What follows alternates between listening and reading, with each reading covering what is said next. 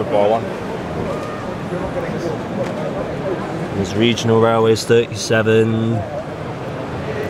City of London. Oh, I thought that looks like a. Duchess. Oh, such a kit. They really are. LNER L91. And we've got a GNER 91. Got a Deltic. Ballymoss. Ballymoss. Yeah, let's see what other ones are there. This is the first time I've been to one of these shows. I'm bringing my uh, partner's son out. so I don't know much DVT, about got a it. Caledonian Are these Mark handmade? II. Are they? They're hand built.